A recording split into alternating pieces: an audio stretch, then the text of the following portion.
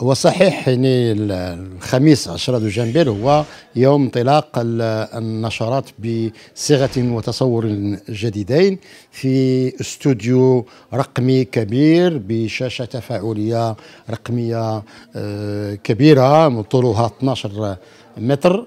وبتصور جديد لنشرة الأخبار ستكون نشرة أخبار آه، أكثر دينامية وأكثر حيوية وفيها فقرات متعددة.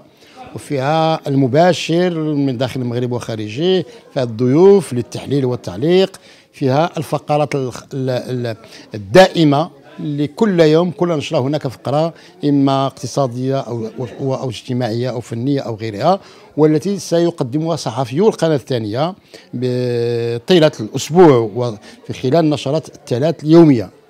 هدفنا هو أن نقدم للجمهور آه، آه، نشرة تتماشى والتطورات الأخيرة في العالم. التواصل نعلم أن المواطنين هم آه، الآن أصبحوا لدي أصبحت لديهم القدرة على الحصول على المعلومة التي تصلهم إلى هاتفهم الذكي. فبالتالي نحن دورنا ليس فقط الإخبار أصبح دورنا كذلك التعليق والتحليل ومساعدة مساعدة المشاهد المغربي على فهم الأحداث سواء الوطنية أو الدولية ليكون رأيا وبالتالي يكون مواطنا فاعلا في تسيير الشأن العام من خلال المنتخبية طبعا شكرا جزيلا.